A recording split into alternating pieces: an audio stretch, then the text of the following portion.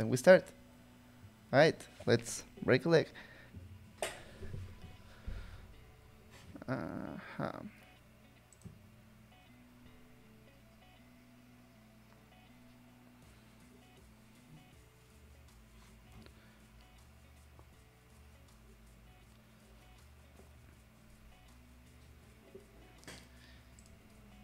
Y estamos en vivo. Muy buenas noches amigos. Gracias por acompañarnos a la plática de hoy. En esta ocasión tenemos el enorme privilegio de platicar con uno de mis héroes personales, el físico y cosmólogo Sean Carroll, y para ayudarme a presentar distintas perspectivas en el tema del universo y el significado de la vida y otros temas de los que nos encanta hablar en este canal, me acompañan mis amigos Daniela, David, Manuel y Porfirio. Eh, ustedes ya los conocen, son un grupo de científicos de Caltech, orgullosamente latinos, cada uno experto en sus disciplinas y ya se darán cuenta por las preguntas que hagan. Eh, bienvenidos amigos, eh, los voy a mostrar en este momento. Y por supuesto nos invita, nos acompaña el invitado de honor, Sean Carroll. Uh, first of all, Sean, thank you so much for doing this. Uh, uh, it, it is a great honor. And we, we have been reading this book of yours, uh, the, the Big Picture, uh, which, uh, well, I'm listening to your podcast, and you know, I don't want to sound like a fan, but, but, but, but we've been wondering uh, if, if you could talk a little bit about like like how do you see yourself? Because on, on the last talk we had uh, porfirio said something about you that i truly agree and it is that you might be the first philosopher who actually engages in the discourse through scientific method.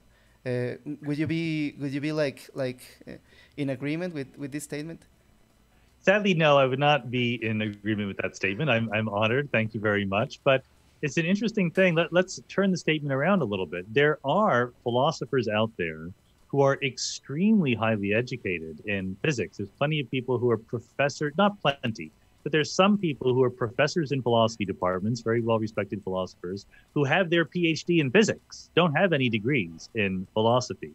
Um, and there are also some physicists out there who know quite a bit about philosophy. But I think that the impression that you're correctly pointing at is that these people are rare. There's not a lot of them, and they're not that well known. You know, it's much more common to talk about or to pay attention to the scientists who disparage philosophy for not being interesting, or the philosophers who go on talking about the world without knowing what we have discovered about it scientifically. So I'm I'm happy to announce that I think that the overlap or the intersection between these two fields is actually growing, even though it's still quite small. So, how do you get first involved into these? Like, has since the beginning of your scientific career, you were interested in, in philosophical questions? You know, I've always been interested in understanding how the world works. And to give you a, a, sort of medium length answer to that question, I can give you a longer one if you want. But uh, I had never really discovered philosophy at all until I was an undergraduate. I went to Villanova University outside um, Philadelphia, and it was a Catholic school. I'm not Catholic myself, but Villanova was. And so they had this old school idea that they would have required courses. We have to take three semesters of philosophy, three semesters of religious studies, three semesters of history, all this stuff. So I was basically forced to take philosophy, and I loved it uh, as soon as I first started with it. And in fact, I ended up taking more than I was required and getting a philosophy minor. And I did study at the time some philosophy of science, but it was mostly about, you know, how theories are chosen, how science is done. It was really sort of diagnosing science rather than trying to understand the universe. And it wasn't until much later, it wasn't until I was a professor that I realized there's a whole community of, of philosophers who are doing what's called foundations of physics and it's really physics. They're just doing physics, but it's the kind of physics you wouldn't be allowed to do in a physics department. So they do it in philosophy departments, and that's really the sweet spot for me. That's something I'm very happy with. How does that work? Uh, physics through philosophy. You know, it works different ways for different people. Um, uh, I had David Albert on my podcast, for example, and uh, you know he told the story on the podcast of when he was a graduate student in a physics department, and he became interested while trying to understand quantum mechanics. He, he became interested in the measurement problem, which is very uh, highly um, a focus of interest for people who do philosophy of physics. And he actually, you know, there's no one there at his university who was interested in that, but he got uh, hooked up with Yakir Aharonov, who's a very famous theoretical physicist. The Aharonov Bohm effect is something you've heard of if you do physics for a living.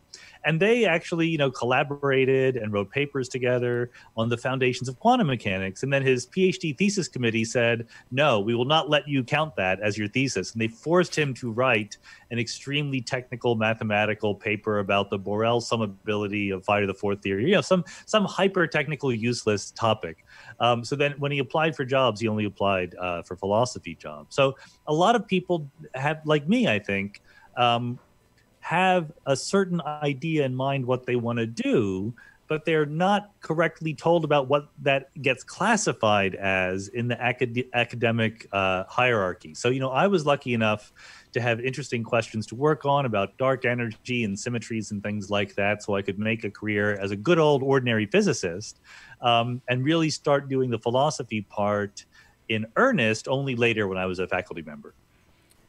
And how do you feel like in Caltech, being a small, very technical school, are you sort of like the only one thinking about these questions? Are you isolated, uh, or or how do you feel with the community here?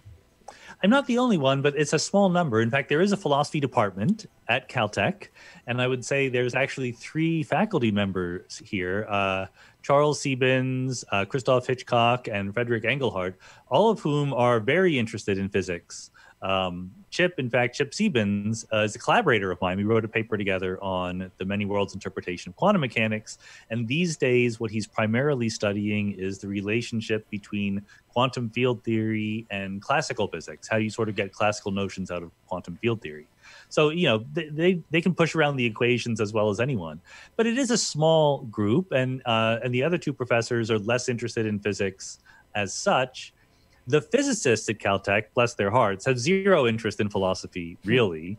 Um, but they're an extraordinary research because they're just so good at physics, especially uh, and notably in what you might call the foundations of quantum mechanics, right? Quantum information theory, quantum computing, things like that. So you can definitely find people to talk to at Caltech.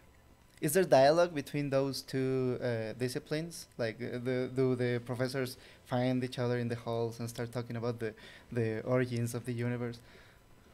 Uh, no, the dialogue is me. I'm the only person who talks to both of those groups, uh, roughly speaking. I think that Chip Chip Sebens will will uh, as he you know he's a young assistant professor, and uh, I think over time he will he will also be a bridge between those two groups. But you know they it, it really is a feature of academia that what you count as an interesting question is very, very different depending on what department you're in. I had the crazy idea at one point that there should be a department, or sorry, there should be a university that had no departments, mm-hmm. right? Because in a lot of ways, the existence of departments yeah. forces academics to sort of fit into some mold. And then if you leave that mold, we don't know what to do with you. And it's not just philosophy. You know, I've been on hiring committees in the physics department where they want to hire a biophysicist, and they're like, well, is this person really a physicist?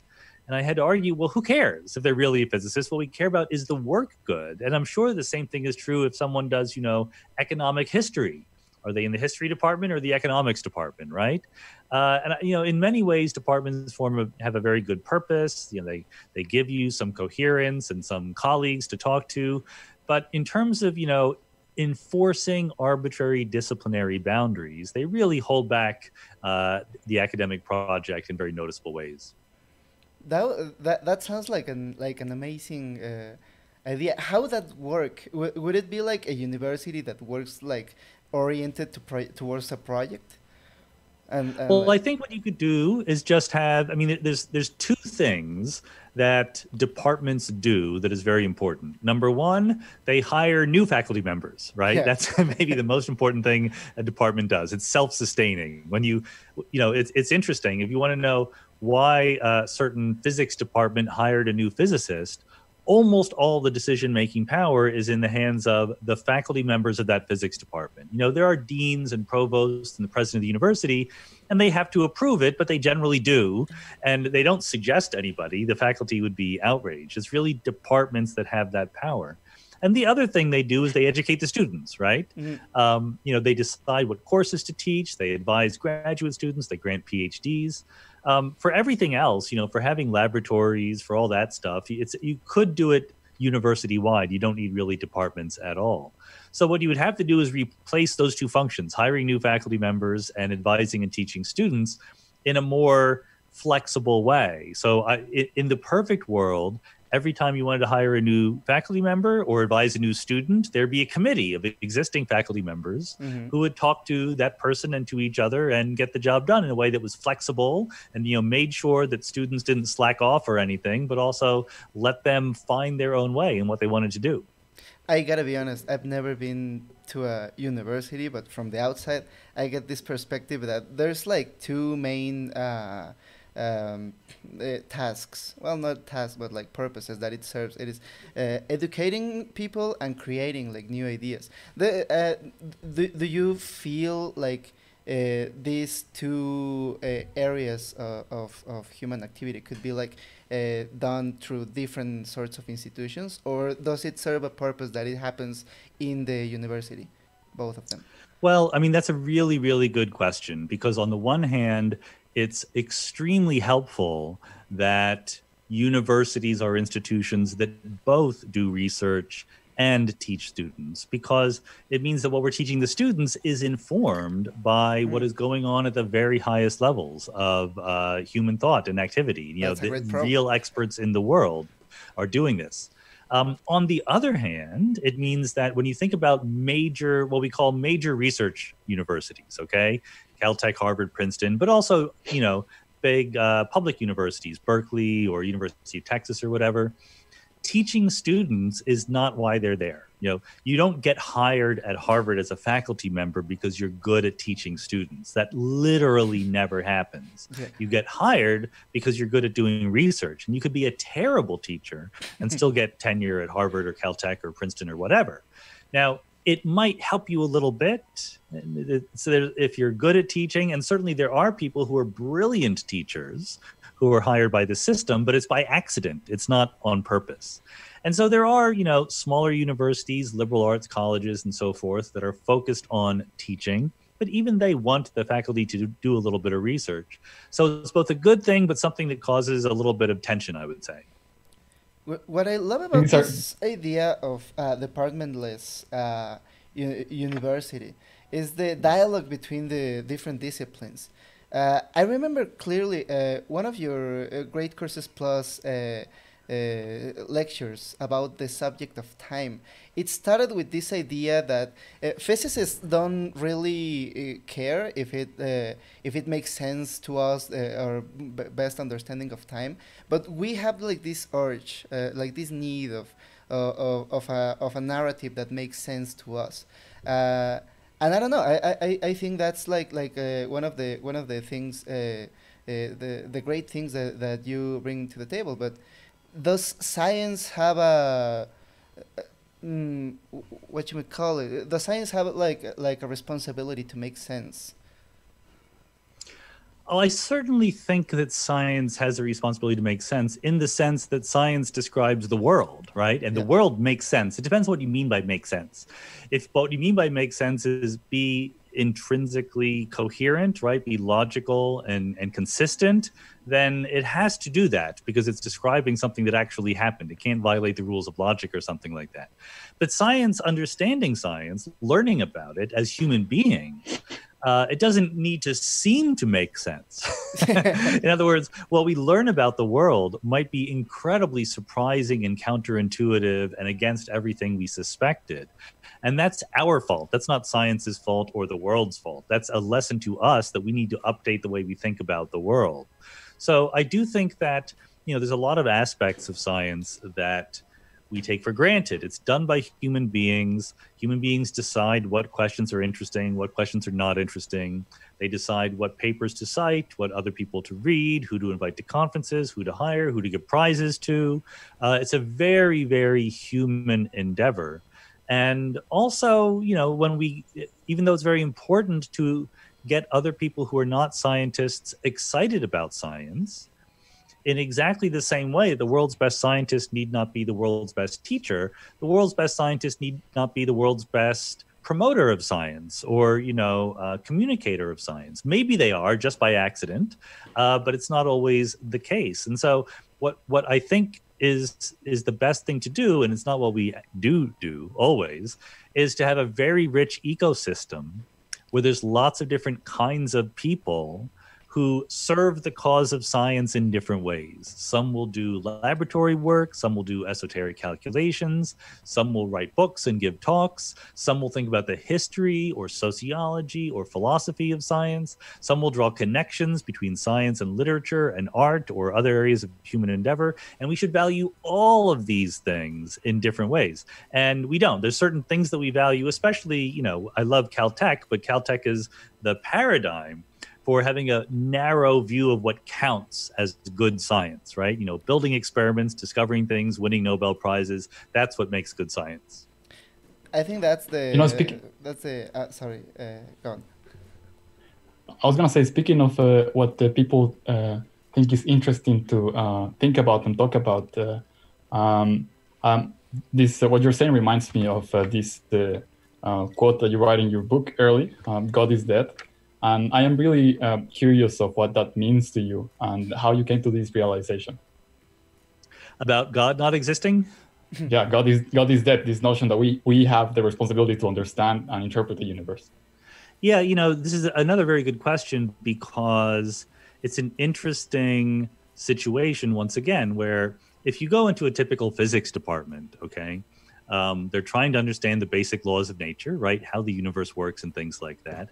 Nobody's talking about God. Almost nobody, right? You talk to 100 physicists, and maybe you meet one um, uh, eccentric person who who talks about God all the time. I know some people like this. Some of my best friends, very very charming, wonderful people. But most of the time, when you're thinking about you know the origin of the universe, the nature of space and time, God just does does not enter the equation. And 500 years ago, it would not have been like that, right? I mean, the role of God in understanding the laws of physics and the origin of the universe and so forth, and the role of human beings in the cosmos would have been front and center everywhere. So it's undoubted that something has changed. And yet, uh, most scientists are reluctant to talk about it. Okay. So even though most scientists don't invoke God in their work or anything like that, they don't go so far then as to say, by thinking about science, I come to the conclusion that the world is purely natural. It's just obeying the laws of nature. It doesn't need outside creator or guidance to, to bring it into existence. Therefore, I don't think that God exists. So uh, that's a little bit weird to me. Like, so something I've said to my friends before is, you know, those of us who think about either physics or philosophy, the fundamental laws of nature, right? The, what happened at the Big Bang? What are the particles and forces making us up? Okay. What we do for a living basically has zero impact on people's daily lives. Okay. Like, we're not going to discover something that's going to lead to a better smartphone or change the economy or cure cancer or anything like that. Okay. We do it. That's not to say that what we do is not important or interesting. It's interesting because we are interested in it because we want to know the answers. That's enough rationale right there. You don't need to cure cancer. Finding out the secrets of the universe is interesting. Except there's one area where what we do has a huge impact on the lives of everyday people, namely that we don't need God. And most people believe in the existence of God. So, whether or not other people agree with us, and not even all scientists agree with each other, but I think that it's kind of our duty to at least explain ourselves, explain why we come to this conclusion and why we think this way. And, and almost no one is interested in doing it. Uh, I, I, think, think this. Oh, go ahead. Go ahead. I was going to say that I think this is a great segue to another uh, quote uh, of your book that I really like that says, The universe is made of stories, uh, not atoms. Could you talk a little bit of, of uh, about what that means? Sure. This is a quote from Muriel Rukeyser, who was a poet, um, very, very good poet. You know, I encourage you to read her poetry. But she had this this eccentric interest in science. She actually wrote um, the best biography of Josiah Willard Gibbs. You know, of the Gibbs distribution, famous statistical mechanic, like w- one of the very first great American physicists. Honestly. Um, but she also has this quote the world is made of stories not of atoms. And so my point in saying that she loves physics and, and wrote this biography is she knew perfectly well that the world is made of atoms right? So she's not denying the scientific point of view but what she's pointing out in my interpretation of it anyway is when you talk about the world when you explain the world to somebody you know let's say that you go on a date right? You meet somebody you're you're attracted to them you go on a date you go to a restaurant you're talking about each other and they say tell me about yourself okay? What are you going to say? You're not going to list all of your atoms. In principle listing all of your atoms would give you all the information they need right to learn about you. But what you're going to do is tell a story. Who you are what you do what you like what your interests are where you came from where you hope to go. That's the way that we conceptualize the world we know that the atoms are out there but when I say like what's in my office, I say, well, there's a table and a chair and some lamps and things like that. That's telling a story. That is telling this very high level abstract version of what's going on in the room. And so it's really those stories that give us a handle on what's going on in the universe. Yeah, so talking about your, your book, we have been reading the, the big picture. It's absolutely mind blowing.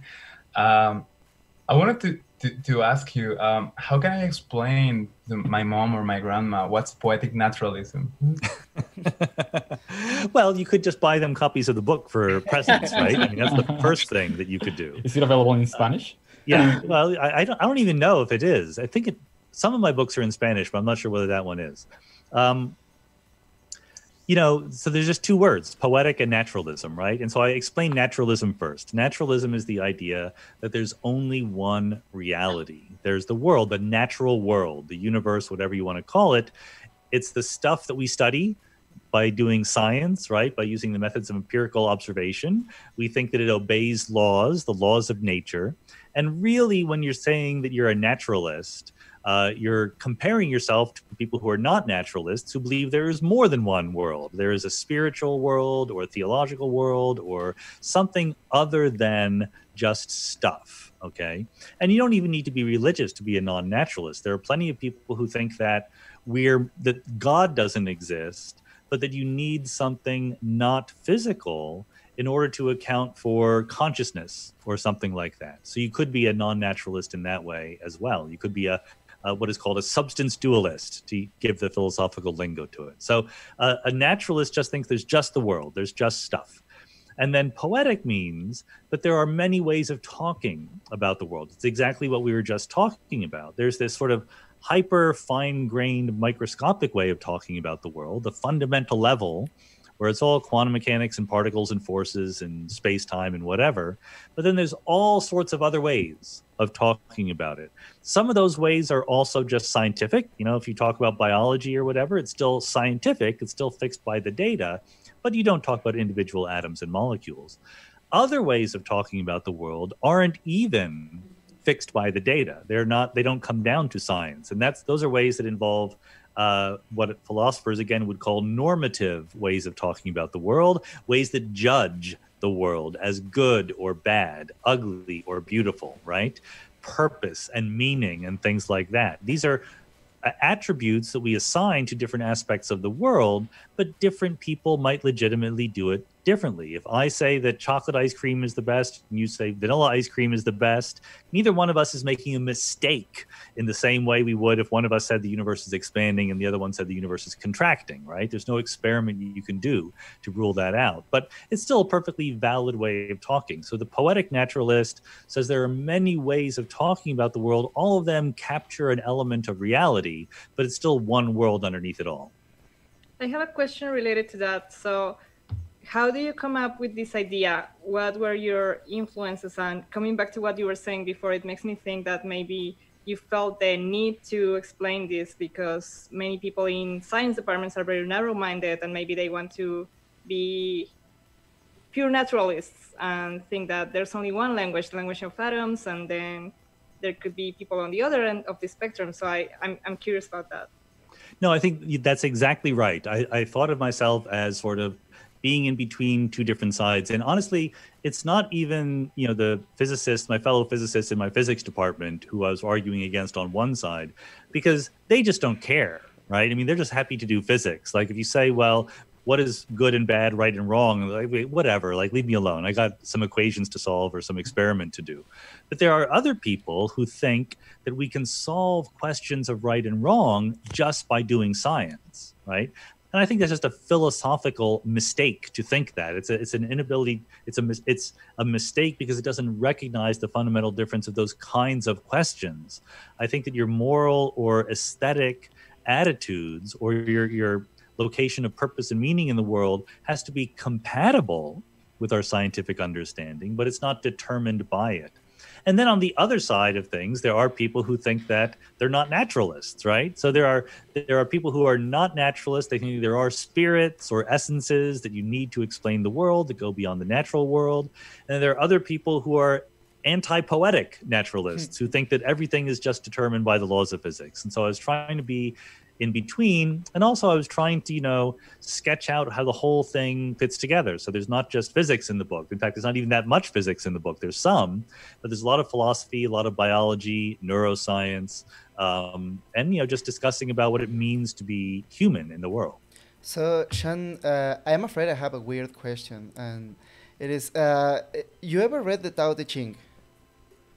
You know, I've read little tiny bits of it, but not that much. I, I own it. It's uh, it's sitting on my bookshelf there. Because at the very first, it says that the real well, it tries to speak about the universe. It's like, uh, and at the very fir first sentence, it says that the Tao that can be spoken is not the real Tao, and uh, and it makes me think about your description of how every time we try to speak about the fundamental level of reality it kind of like escapes meaning and we have to create the, like these new layers of meaning to talk about different scales of of uh, of reality. That's why I love this uh, this this term so much, poetic naturalism, because it it seems like the more we are relating to our uh, everyday experience, the more we are talking into like metaphor.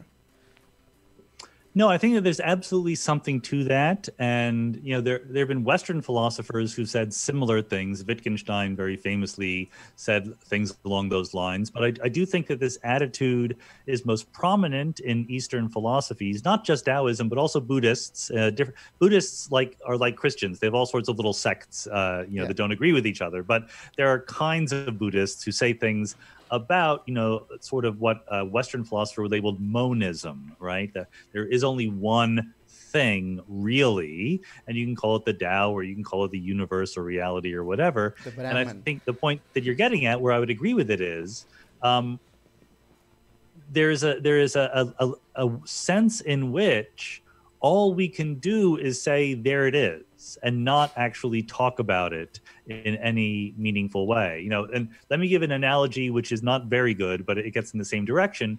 Let's imagine you believed in superstring theory. Okay, so there are people who think that little particles like electrons or photons or whatever are really little vibrating loops of string.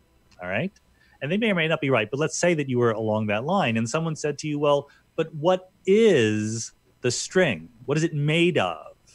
And at the end of the day, you have to say, well, it's just this string stuff. That's what that's what it is. it's it's the stuff out of which everything else is made.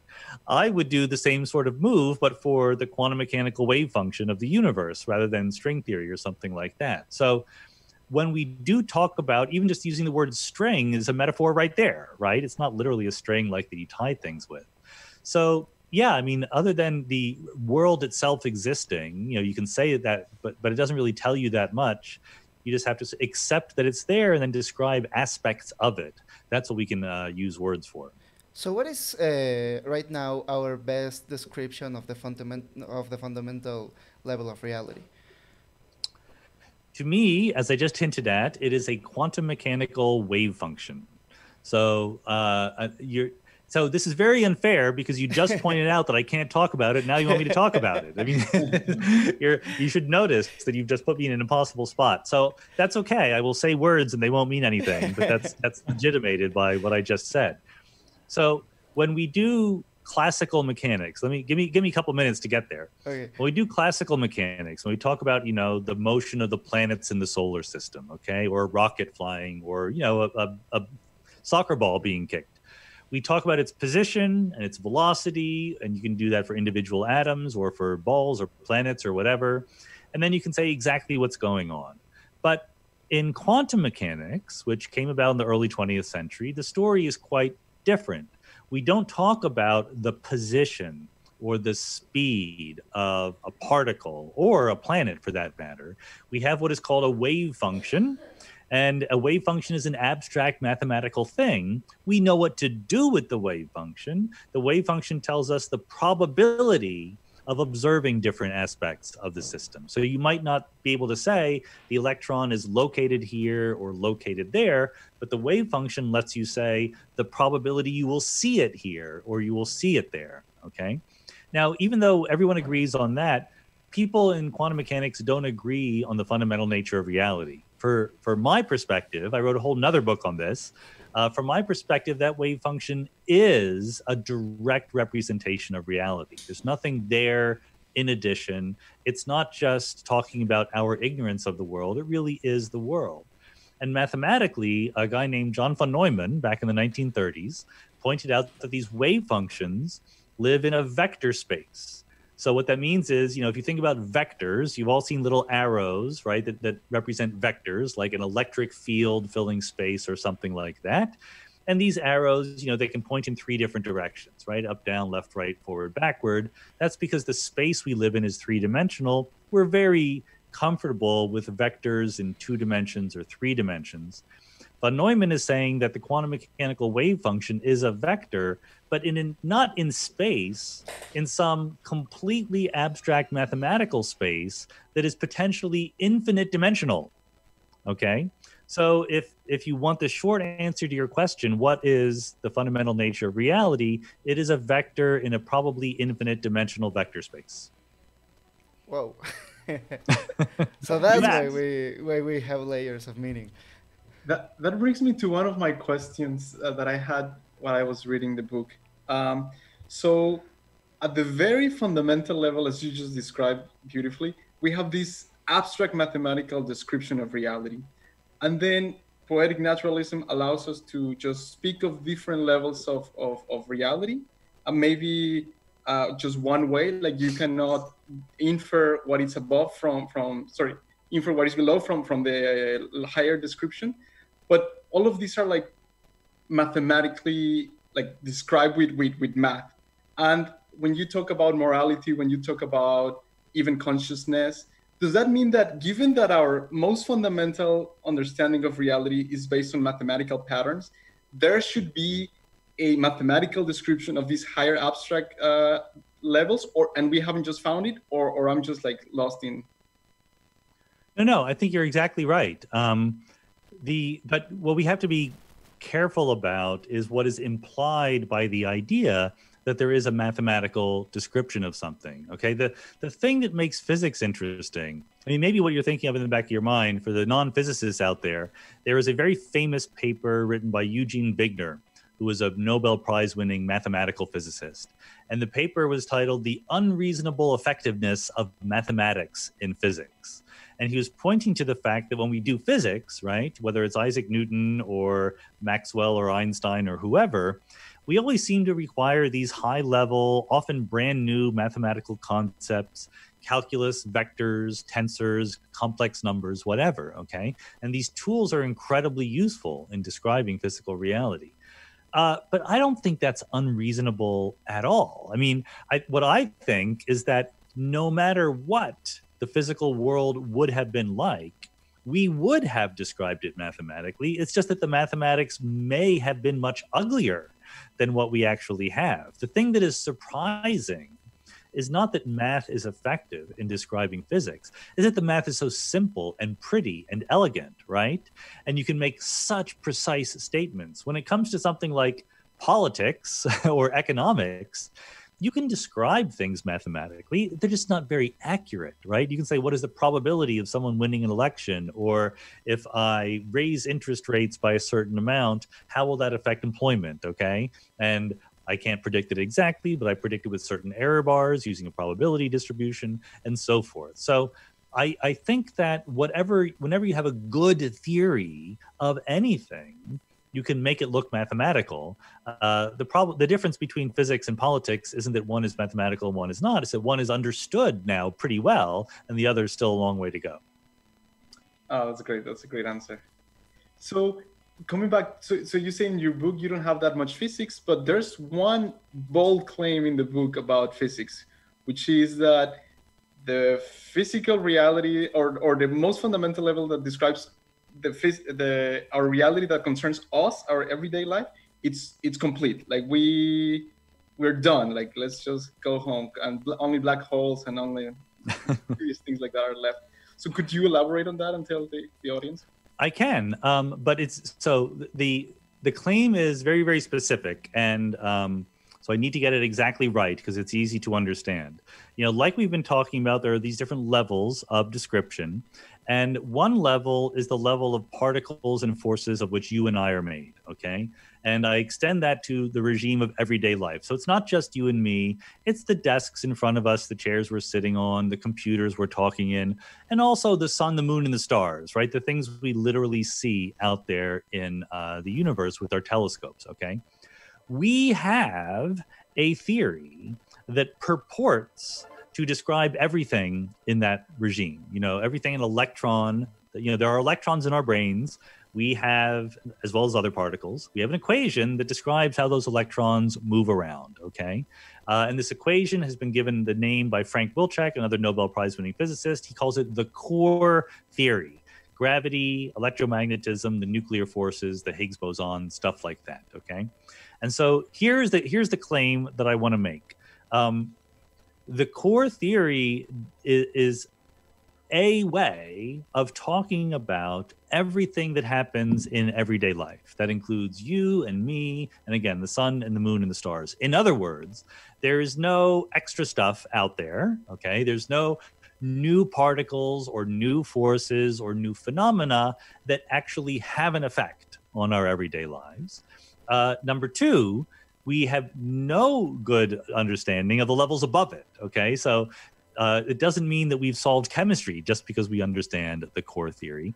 And number three, there's no claims being made about the levels below it either. So the core theory is probably not fundamental in some real sense. It's not necessarily the final answer to anything. In fact, it certainly doesn't describe things like black holes and the Big Bang, dark matter, stuff like that. Okay. But these things also don't affect our everyday lives. So it's completely possible that there's a whole layer underneath. In fact, I think, let me see, right around here, I'm actually writing a paper on this right now. Oh, yes. I have a plot. I will show you a plot of what I mean. Here's the plot. Can you see it? No, because I'm Uh, I'm showing on Zoom. It's giving me the. Uh, but I can do this. This is worth doing. This is kind of fun. So this is what I mean when I say that um, some of these layers are understood and not. So the layer in blue is it focused? Uh, m- maybe More or less. I think that's good. Yeah. That's, So basically, I can describe the picture in words. So these layers from top to bottom are on top, like the macroscopic world, right? You know, uh, giraffes and elephants and economies and uh, the universe. In the in the middle layer, the blue box is the core theory. Okay, so it's what we're made of, all those electrons and protons. The box next to it is new particles and forces, like whether it's dark matter or new forces of nature that we don't, don't know about. It's completely possible that stuff exists, but we don't depend on it. Our everyday lives do not depend on it. And finally, below that, there's a layer, and the layer below it is who knows what. It's you know the fundamental theory of everything that we don't have yet. And the point being that the core theory might depend on that, but our everyday life only depends on that through the core theory. So, in other words, the whatever new phenomena there are at the very bottommost level of reality, they might exist, but we don't need to know them to understand the particles and forces out of which you and I are made. This is so cool. Uh, here comes another weird question. You ever read Jean-Jacques Lacan? Sorry, that say it again. Uh, you ever read Jean-Jacques Lacan, the French uh, philosopher? I have not read him. Uh, I have a good friend uh, who I'm thinking of getting on the podcast, who's one of the world's experts in Lacanian theory, but I have not read him myself. Because your your your diagram uh, looks uh, so much like Lacanian theory on reality versus the real. because Ah. he talks about reality like something we do out of uh, we create out of the symbolic and the imaginary like basically images and, and symbols and we create that so we can have like some interpretation of deep real the real which he calls the real which eludes meaning uh, which I don't know, and it, it even looks like the same, you know. In, instead of the real, there is like the theory of, of everything, in, and, and instead of the the, uh, I don't know. Do, do you think we need this? uh, uh, these uh, these interpretations of reality because deep down reality eludes meaning? Actually, no, I, I, I wouldn't go quite that far. I mean, I'm willing to say that reality might elude our ability to uh, talk about it in the language that we already know about, right? To convert it into sensible words in natural language, whether it's English or Espanol or, or anything else. Yeah. Um, but I, I do think that reality is ultimately intelligible. It is possible to understand what reality really is. Um, uh, another footnote here there are questions that it is very natural to ask about reality that might not have answers not because we don't know what they are but just because they don't apply right so the most obvious example of this is why does the universe exist at all and my my answer is there's no reason for a question like that to have an answer maybe there is an answer maybe we'll find it someday but the answer might just be it just does you know there's no further answer because the universe is unique. It's it's the only thing that is the universe. It's the only thing that is that, that is the totality of everything that exists. So the fact that things within the universe have explanations for why they exist does not imply that the universe has such an explanation. And our our everyday intuitions might just get it wrong when they they say, well, this has to be true about the universe. We should be very open-minded, not only about what the universe is, but even about what we are allowed to ask about the universe. Along those lines, that remem- that reminds me of this part in your book where you say that we want to find causes for everything, and that's what the how the Aristotelian logic work, but that we don't necessarily need to have a cause for everything.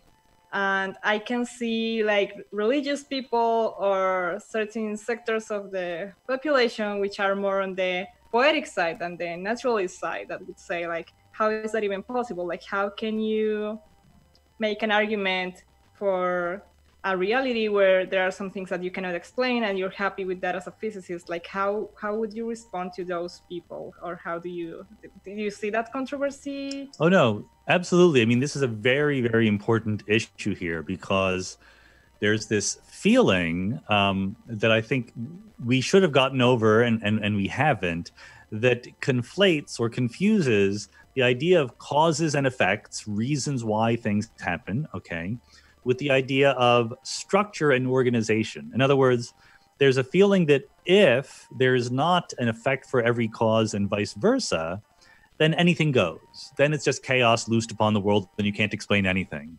And my point is, no, there is actually a middle ground there also. And, and by the way, I don't want to fetishize being in the middle ground. Sometimes being extremist is the right thing to do. But for these particular questions, um, it is possible that the way the world works at the, at the deepest level is not a story of here's a cause and there's an effect and that's the cause of another effect and that's the cause of another effect.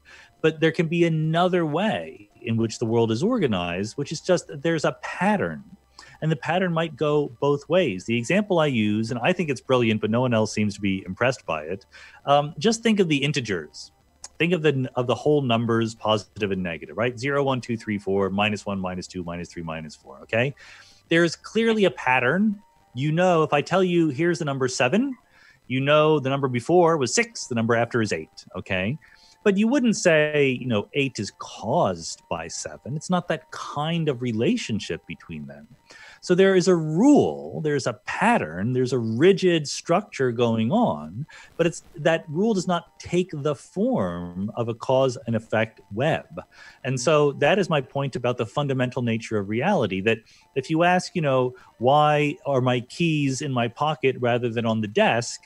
That's the kind of question that has an answer. There's some reason why that is true, but you can't just take that linguistic construction. Why are my keys here rather than there? And apply it to the universe as a whole. That's a that's a mistake, uh, a mistaken extrapolation of what you're allowed to say using these words.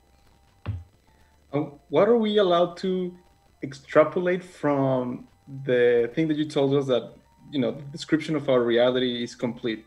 What does that imply about souls, consciousness, free will? Like I don't know, so many. Yeah. It implies that whatever that stuff is, it had better be compatible with the idea that you and I are made of particles and forces obeying the rules of the core theory. So, what I say in the book is uh, there's a whole bunch of ideas that are incompatible with that understanding. Astrology is incompatible with that understanding. No, You know, uh, with- sorry, you know, I, I, no one ever said science was pretty. It's not going to make you necessarily happy, but the constellation that Saturn was in the moment you were born has no effect on your life. Uh, there's no way that it can influence your life because we know what particles and forces could possibly do it, and they're not up to the task. Uh, you cannot bend spoons with your mind. No. Okay. I mean, except by telling your mind to put your other hand in there and bending it. But you cannot exert a force using what's in your mind because the core theory doesn't allow it. And also, as you say, there's no life after death. The way that we are a person, the person who we are, importantly involves information that is stored in your brain and in your body in the arrangement of atoms. Okay. And number one, when you die, that arrangement of atoms begins to degrade. It's no longer preserved over time. And number two, there's nowhere else for that information to go. So you, it's not a proof that there's no life after death, because there, there's no proof for something like that. There's just is it reasonable or is it unreasonable? The argument is simply that if you want to believe in life after death, then you have to believe that the laws of physics as we current, currently understand them are wrong in some really important, noticeable way. So to me, the burden of proof is on the people who want to change the existing laws of physics. Tell me how to change them. Tell me where the equations are wrong, and then I will start taking you seriously.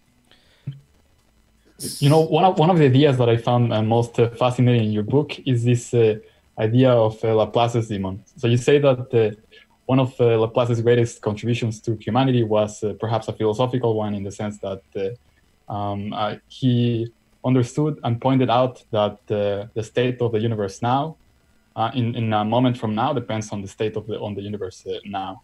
Right. Could you talk a little bit uh, more about that and how that relates to these notions, in particular the notion of uh, free will?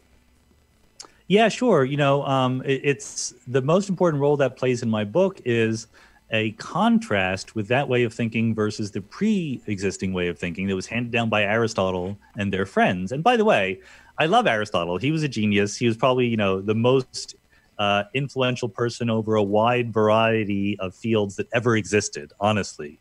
Like he wrote books about how to write a good play, okay, as well as books about metaphysics and ethics and physics and biology and things like that. So those were the days back then when you could do that. So the reason why we we constantly uh, refer to Aristotle and say that he was wrong is because it's always in contrast with Aristotle that we think about ourselves.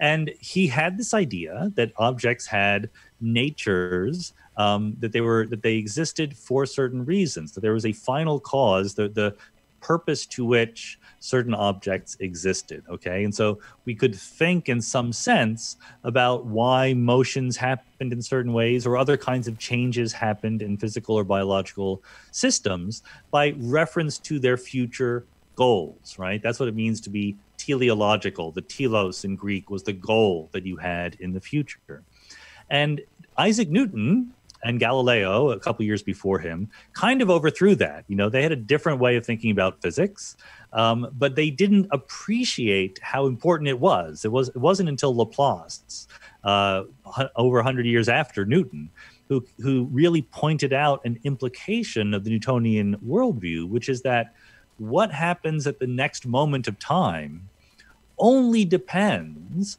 on the situation of the world now it does not depend on any future goals in any way at all. In principle, if you knew exactly what was going on in the world right now, everywhere in the universe, and you had infinite calculational power, you could say exactly what would happen at every moment in the future and you could say what did happen at every moment in the past okay according to the rules of classical mechanics and so this is now a deterministic universe.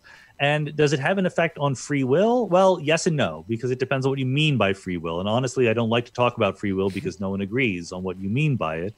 Um, so what it means is you can't violate the laws of physics. Uh, it means that there's a certain very strong version of free will that is ruled out by physics, what is sometimes called libertarian free will, the idea that a human being is an agent, a law unto themselves, as Immanuel Kant put it, that they are not just the sum of a bunch of particles and forces obeying the equation of the core theory. That's right out. Even, even once you have quantum mechanics, and determinism is less obvious, this sort of a person can overcome the laws of physics just through their willpower is whether it's true or not, it's certainly incompatible with our best scientific understanding of the world. But there's another level of sophistication where you say, okay, I get that, but is it still okay as a poetic naturalist? You know, there's many ways of talking about the world. Is there a way of talking about the world in which human beings are agents that can make choices? even though ultimately, if we knew what all their atoms were doing, we could predict what they would do next. And to me, the answer is obviously yes. And it's so obviously yes that even the people who say it's no are constantly talking about people making choices. they're, they're constantly making choices themselves. They're constantly trying to persuade people to choose things in certain ways. You can't talk about human beings if you pretend that they're not able to make choices uh, it's certainly not a useful way of talking about human beings. So this is what is called the compatibilist uh, attitude toward free will, where on the one hand you might have some impersonal underlying laws of physics that says has no reference to free will whatsoever. But at some higher level, at some emergent level of macroscopic personhood, it's still perfectly okay to talk about people making choices. So, response. So how how does a conscious mind emerges from this uh, deterministic universe made out of uh, particles and forces? I don't know. if I knew that, I'd be rich. Uh, no, that, this, but it's a good question. I don't want to downplay it because that's a lot of you know the purpose of me writing the big picture was exactly that question because I don't talk about consciousness I don't talk about the details It's about what consciousness is because I am not trying to say, here we are, we're almost there, understanding what consciousness is. I know that, you know, Daniel Dennett and Steven Pinker and other people have written books that basically say, you know, a few I's dotted, a few T's crossed, we'll be there any moment. We basically understand how consciousness works. I don't pretend to understand how consciousness works. But nevertheless, I think that when we do understand how consciousness works, it will be a purely physical way of thinking about consciousness. It will not need to invoke anything beyond the physical world. So that's the case I wanted to make in the book. So uh, my, my point is that even though we don't understand consciousness, that's no reason to think that we need to change the laws of physics. Indeed, if we didn't know what we knew, right? Like if, if you knew what the laws of physics were, but you didn't know what human beings understood about the laws of physics, what would you say is the last thing they would understand about the universe? And you might say consciousness, because the human brain is just an enormously complex system. It's sort of self-reflective right? You know there's recursion. We think about ourselves. We're self-aware. It's enormously complicated. 85 billion neurons and countless many more connections between those neurons. And the neurons are different in different ways. And so it's just of course a system that is going to be very very difficult to understand. The fact that we don't understand it yet is the least surprising thing in the world and i would argue that it's zero reason to worry that it won't eventually be understood that I'm having this thought. I don't know if like it's like a hippie nonsense, uh, but I'm just finding it very intriguing that you know if reality at the most fundamental level is just these patterns that we can describe this math, and then these patterns just start congregating or, or making more and more complex stuff to the point that they create us so that we can write the patterns back. So there's this recursion that I find pretty mysterious. I don't know how to think about that.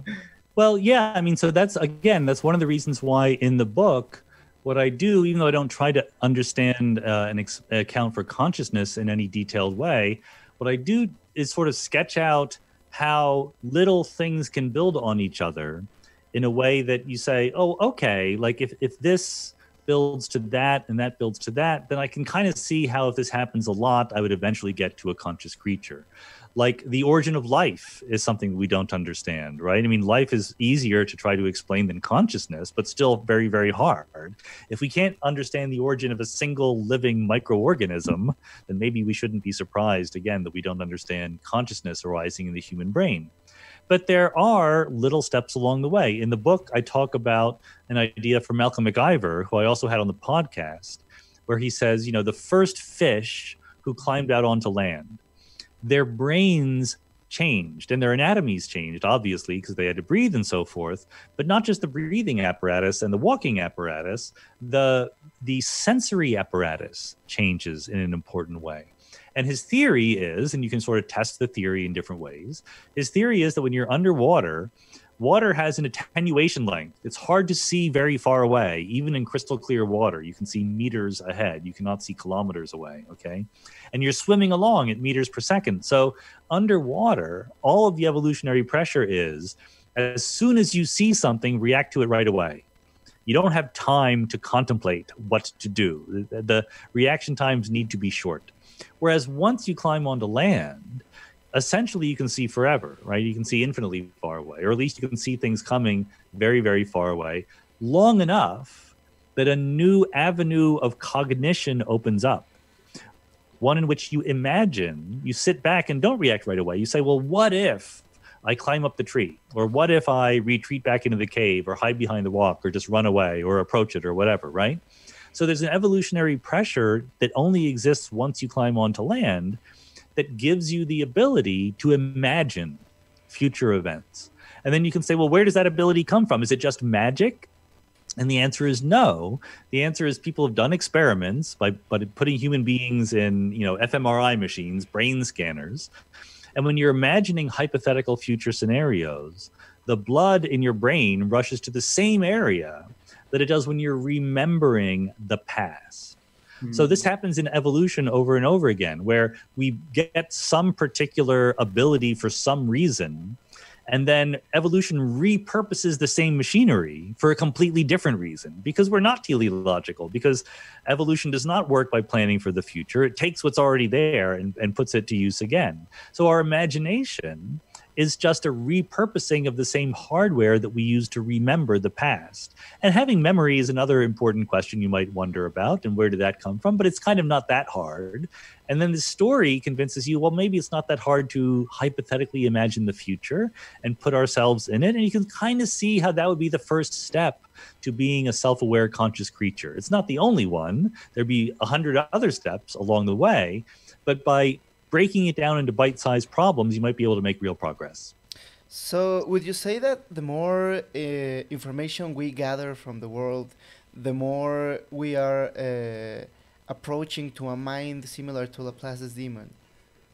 Meaning, no, the more I would never ever say that.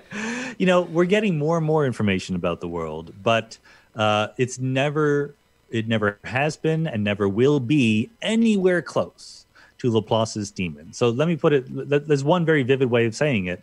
Um, roughly speaking, to have a computer big enough to understand the whole world, the whole universe, it, the computer would need to be as big as the whole universe. And basically, it would just be a copy of the universe. That's what it would be.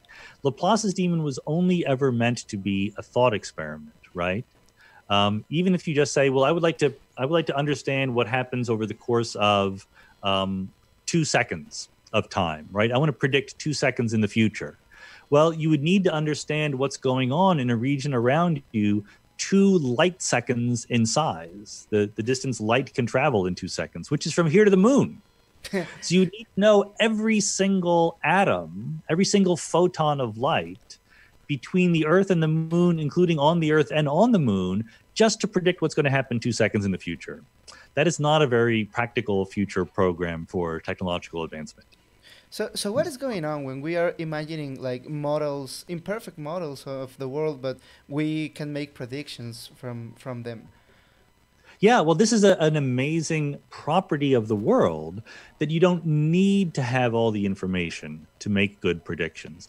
It didn't need to be that way. This is one of the aspects that is mysterious about the physical world is that there's some situations very, very specific situations in which, with a very tiny fraction of all the data that's there, you can still make very, very accurate predictions. So, the example I like to use is again the Earth moving around the sun. Okay. We all know, you know, we can predict uh, how where the Earth will be in its orbit millions of years in the future and millions of years in the past. This is what Laplace had in mind. Laplace was one of the people who really told us how to do this mathematically. But if you think about it, you know, the Earth has something like 10 to the power 50 atoms in it. Okay. And when you start talking about where the Earth is going to be, does anyone ever start listing all 10 to the 50th atoms and their positions and their velocities? No, they don't do that. What they tell you is the center of mass of the Earth and the center of mass velocity of the earth. So really it's literally six numbers. Like if you want to be very tricky about it, you could add in the rotation of the earth or things like that, but a handful of numbers is all you need.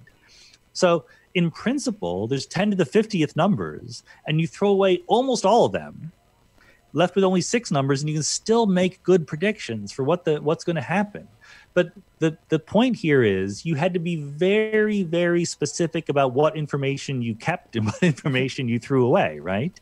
If i say well out of these 10 to the 50th um, numbers if i just give you the velocities of all of them well no let's, let's put it the other way. If i give you um, the positions of everyone but none of the velocities of those 10 to the 50th atoms. So I'm giving you half of the information, way, way more than you need, right, to predict the Earth moving around the sun. I'm giving you all the velocities, but all, all the positions, but none of the velocities. What can you predict about where the Earth will be later? Nothing, because you don't know what any of the velocities are. You have no idea where the Earth is going, okay? So that's the generic situation. The generic, most common, typical situation is unless you have almost all the information, you can predict nothing it's a very special, very precious, very unusual, and very fortunate set of circumstances when you can make good predictions on the basis of small amounts of information. That's when you say you have a useful, higher level emergent description of what's going on. That's really cool. Um, I really wanted to ask you this. Uh, although we know the physics that describe or uh, relevant, um, everything re- relevant to our uh, daily life experiences, and we know the biology that you know uh, take us took us here. Um, today, society still believes in an almighty God deciding on on our lives. So, how can we change that paradigm? And more importantly, do you need do, do you think we need to? Well, um, you know, I I wouldn't say I think we need to, but I, I think it would be nice. So if we're right, if I'm right, I would I would be happier if other people agreed with me about almost everything, right? Not just the existence of God, um, but maybe I'm wrong about something, so I should listen to what they have to say. And I think that you know the question you're asking is an important one, but it's a difficult one because the idea of knowing the right answer is very different from the idea of convincing someone else of the right answer, especially if they are predisposed to disagree with you um, that's a whole nother scientific study of psychology and persuasion and rhetoric and things like that. And I know a little bit about it, but I'm not an expert.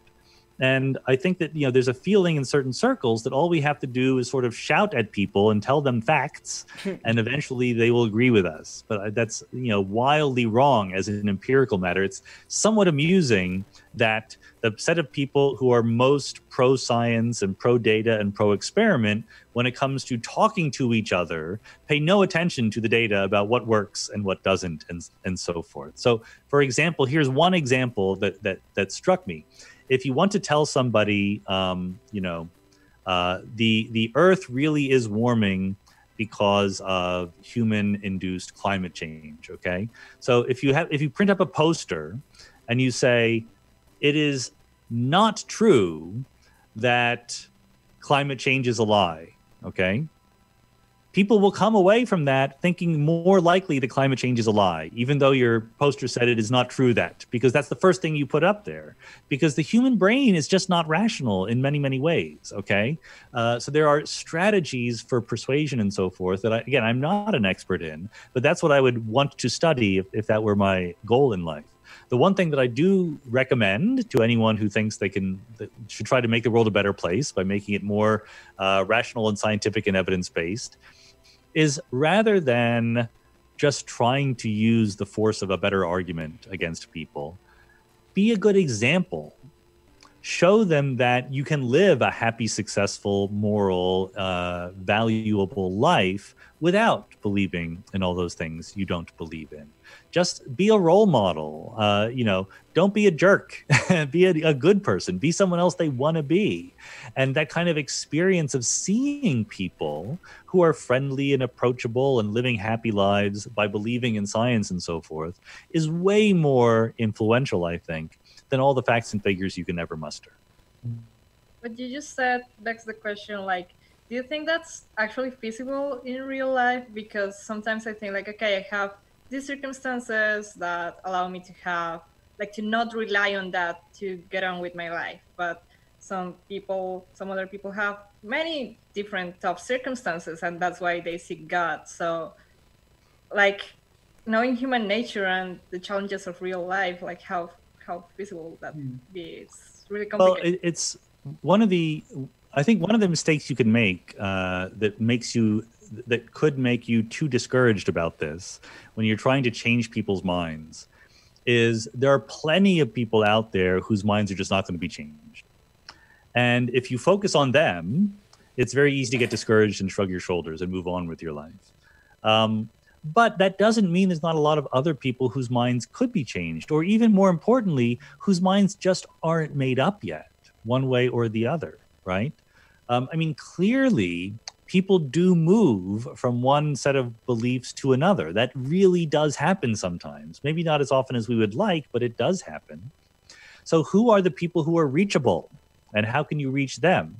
For other people, you know, there will always be other people who you disagree with very, very deeply about something and you're never going to change their mind. But for whatever reason, you value them they're your family your friends or whatever so then just don't talk about that thing right change the subject you know like there's only so much it depends on your personality and their personality maybe you have fun arguing over it even though you'll never agree my own strategy is just to talk about something a little bit less contentious but there are plenty of people look like i've given talks to church groups right? I've been invited to come into a church and explain to them why God doesn't exist.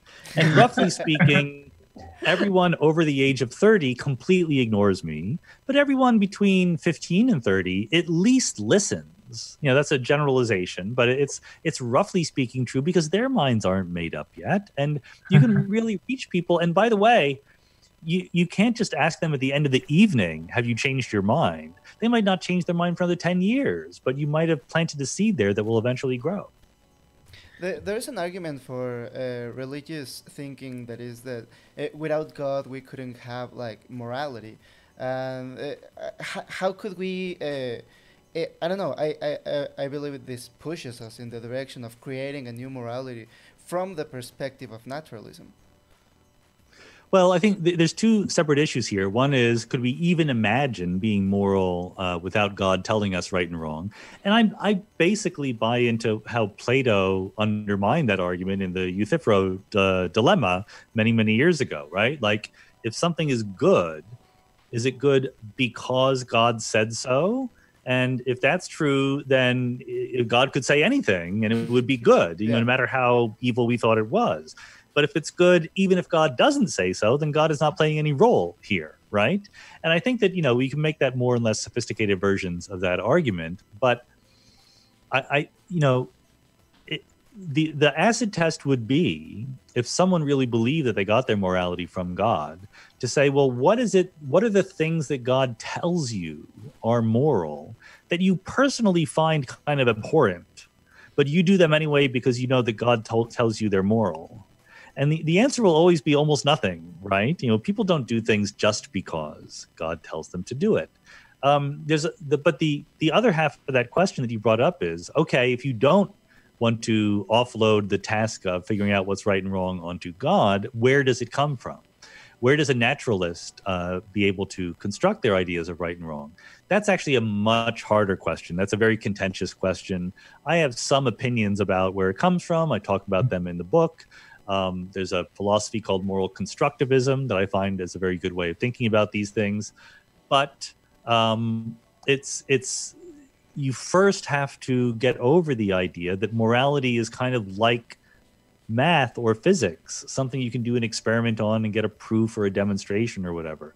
Morality is constructed by human beings. And once you accept that, then we can start making progress. But the, the gap between people who believe that morality is sort of like logic and science versus people who believe that morality is something invented by human beings is the first step in making progress there. This is sur surprisingly refreshing because uh, once we start talking about naturalism and about like a universe made only of matter and energy, uh, one uh, one kind of loses this like metaphysical aspect of life. but but once we start like identifying parts of the universe that we bring to the table, I don't know. This kind of fills me with a sense of purpose as a human being. Well, you know, look, I think I have this attitude that you know, um, here's a very simple, too simple, but still it gets to the right point uh, um, uh, motto here.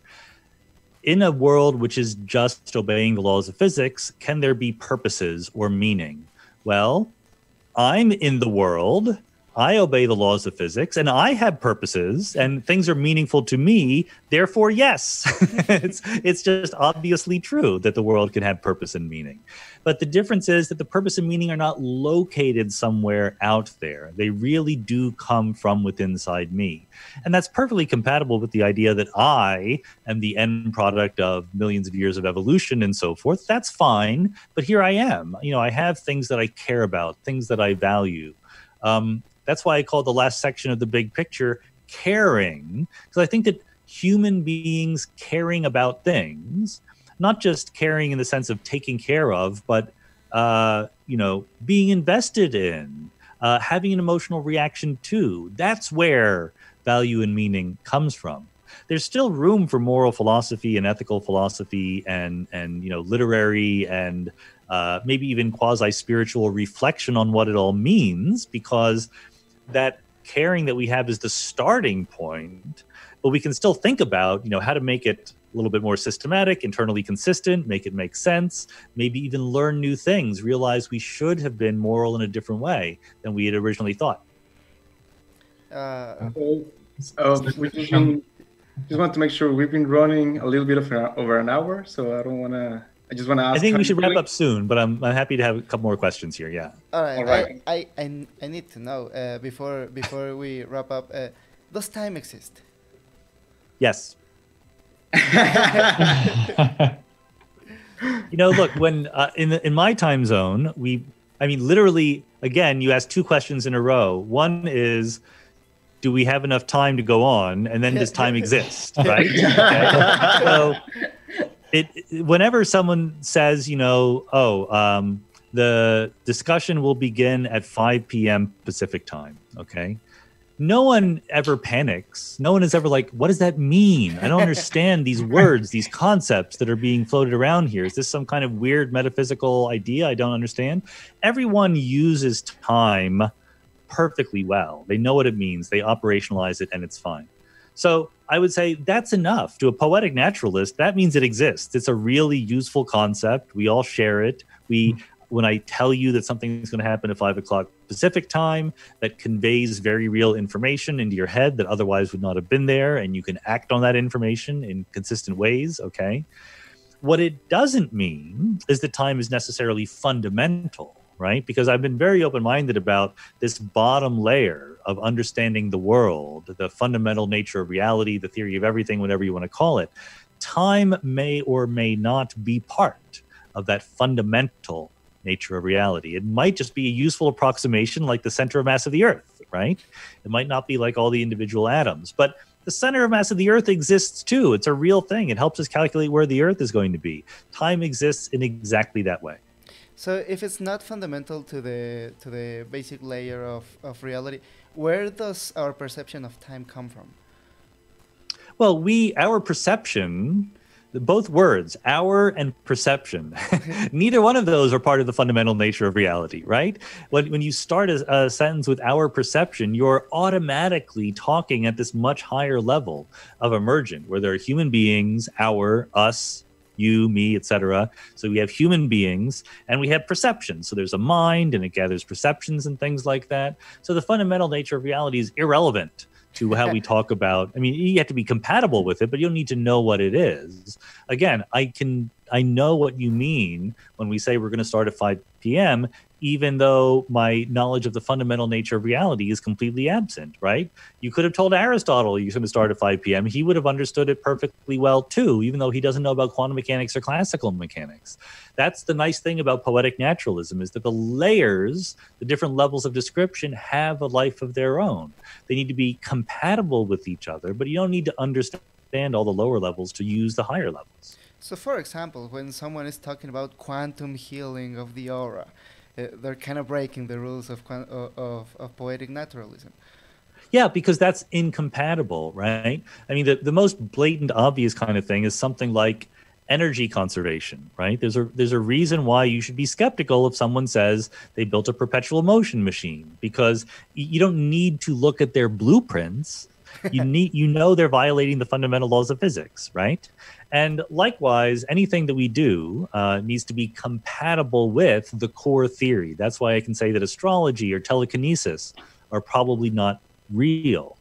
But that com- that restriction that we need to be compatible with the core theory still allows a tremendous amount of freedom that we don't understand. You know, otherwise I'd be able to predict the stock market, and I can't. so the fact that we need to obey the core theory is a very, very weak constraint on what can happen in the human scale world is great. I guess uh, some closing remarks for all of the people listening to us. Like if they want to start thinking about these questions, maybe there's some students that haven't even chose their major. Would you say physics is the way to go? Or what would be the advice for some young minds that want to start thinking about these deep questions?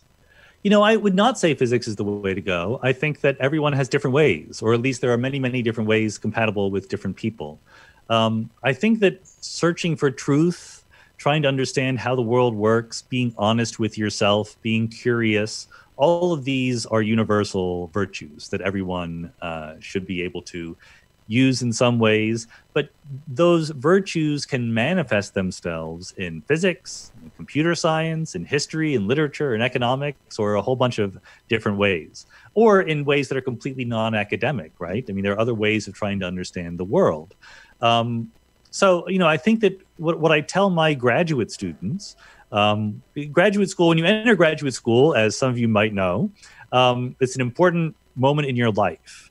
And for other reasons, um, among other reasons, it's an important moment because you are undergoing the transition from being a student to being a scientist. Okay. You're becoming a little bit more independent.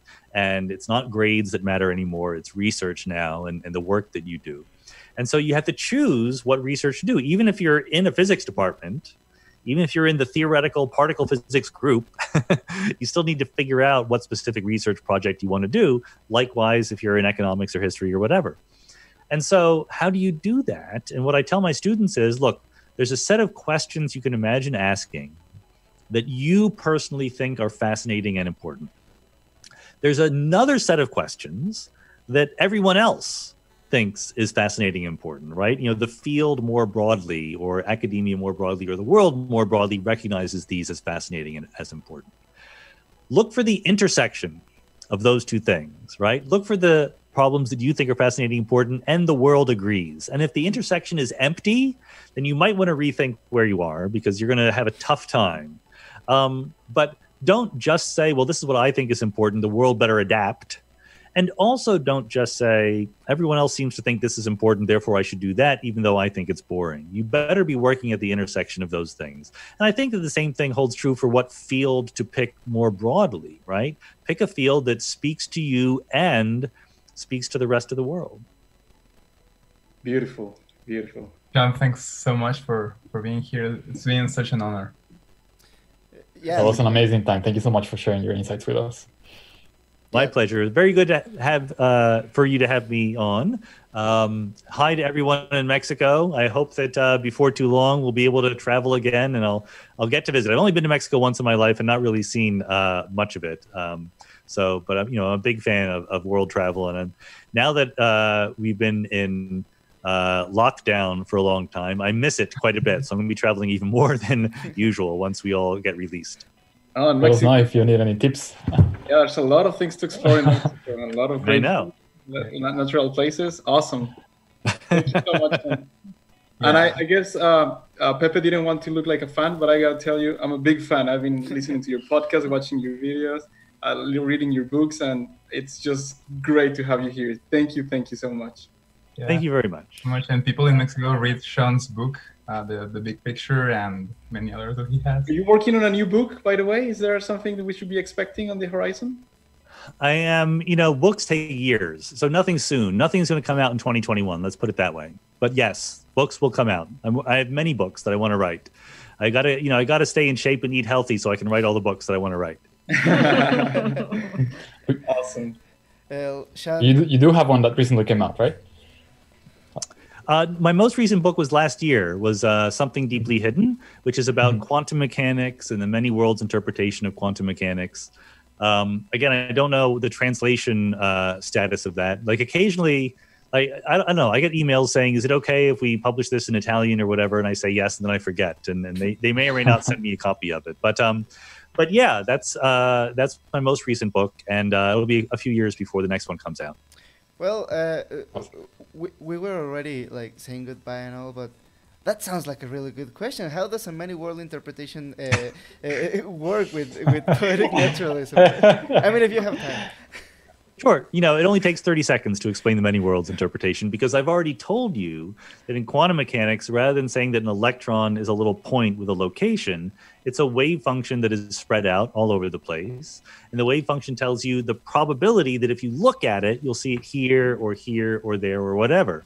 So you can ask yourself if I look at it and I see it here, what happened to the rest of the wave function? If you if you just thought the wave function captured your knowledge, then that's not even a question. You were just wrong about all those other possibilities.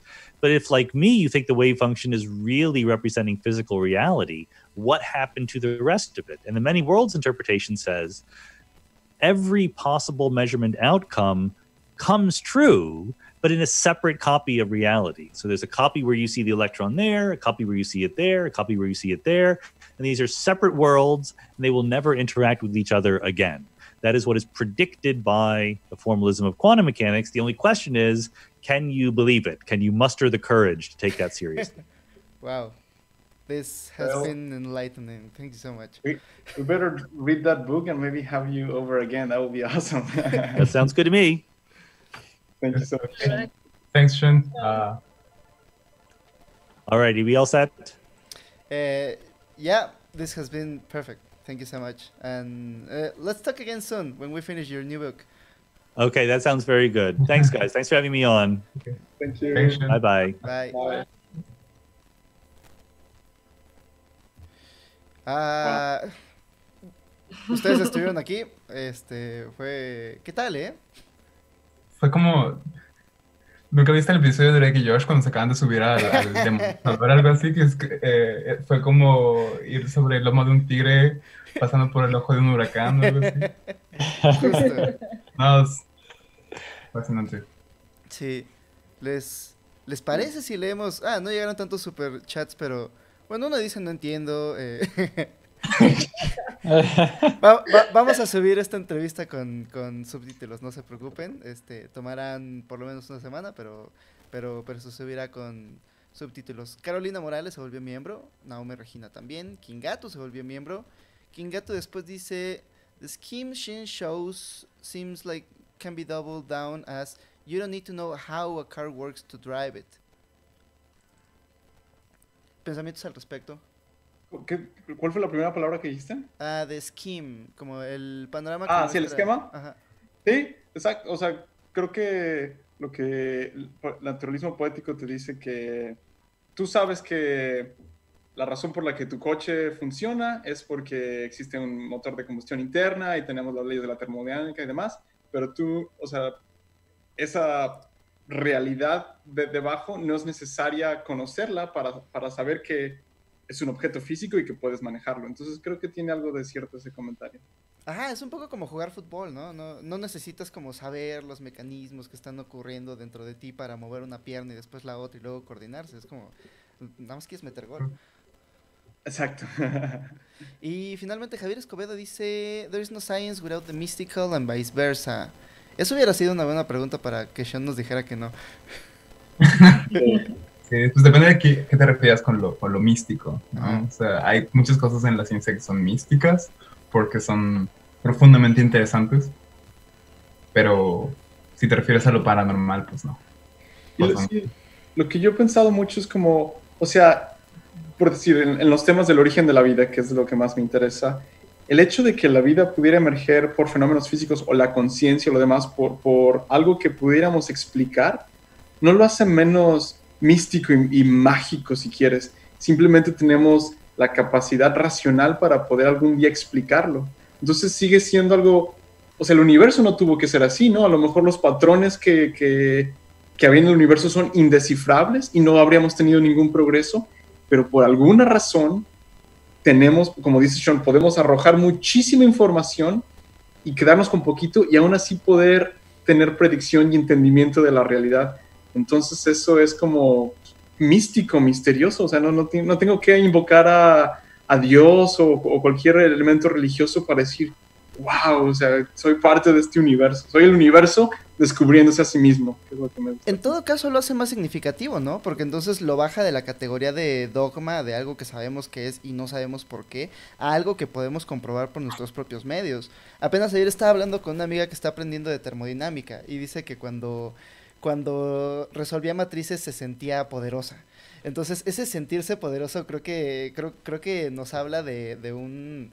De, de, una recompensa hasta casi fisiológica al acto de, al acto de comprender. Sí, yo pienso que, o sea, para mí la actividad científica es como un paso eh, natural después de, del misticismo supernatural y religión y demás simplemente la, capacidad que el cerebro, cerebro humano tiene de hacerse preguntas ya nos da esa intrínseca curiosidad que tenemos que satisfacer de alguna manera.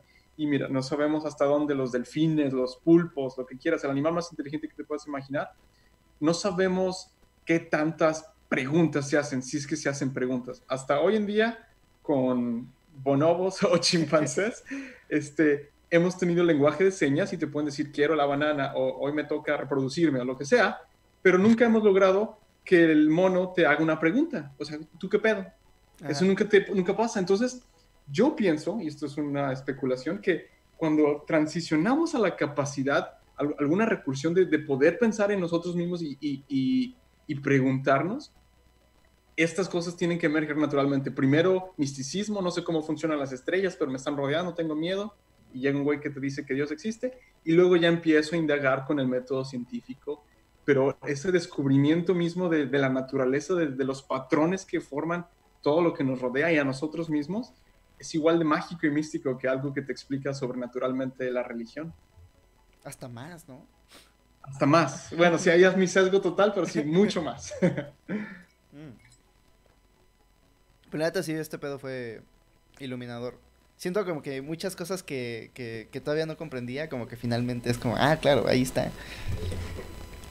Sí, no, increíble, qué, qué oportunidad tuvimos, la verdad, y ojalá que este, todos los que la hayan escuchado les, les, gustara y pues a ver si hacemos otras, otras chidas como esta. Bueno, pues que nos echamos el otro libro, Shan. Estaría bueno, estaría más, más abstractón, pero estaría interesante. A lo mejor primero un ciclo diferente y luego ya volver a ese libro. Digo, no, Sí, estaría, estaría. Este. Pues algo más, conclusiones. Lean, lean The Big Picture. No sé si está en español. ¿Ustedes saben si está en español? Yo lo busqué, pero no.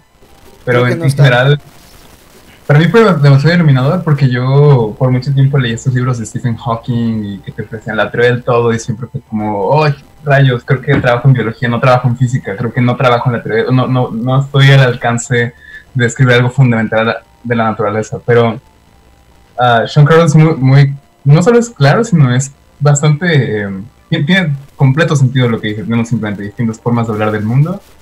ah, desde la sociología hasta, hasta arriba hasta la física de partículas.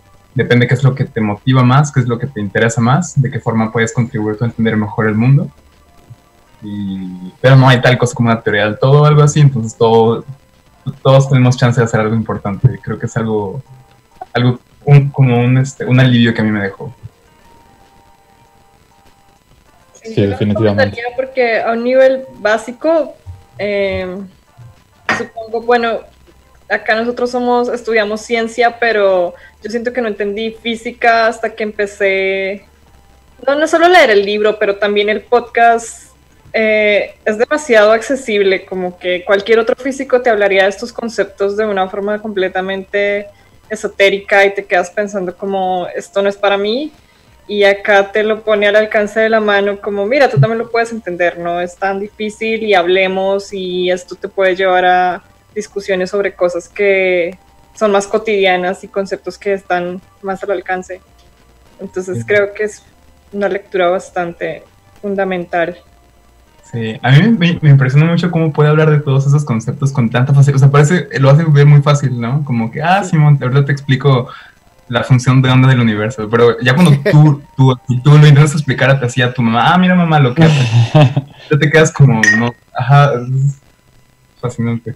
Sigo, Eh. sigo todavía con el vértigo de la última respuesta que nos dio acerca de cómo la función de onda del universo son todos los universos posibles existiendo, pero imposibles de interactuar unos con otros. Y cómo nos dice, pero ahí la pregunta es si tienes el valor de considerar seriamente esa idea. Es como, ¿what?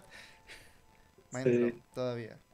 Sí, les recomiendo también mucho su, su canal de YouTube. Tiene videos que se llaman The Most, ¿qué es? The Most The biggest, The Biggest Ideas in the Universe y habla sobre estos temas ya con más, un poquito, no, no te resuelve las ecuaciones, pero te escribe una función de onda y demás.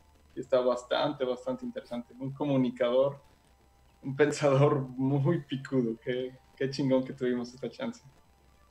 Y además de ese privilegio, creo que también es un privilegio vivir en una época en donde conocemos suficiente del universo para poder formar una filosofía construida sobre ese conocimiento.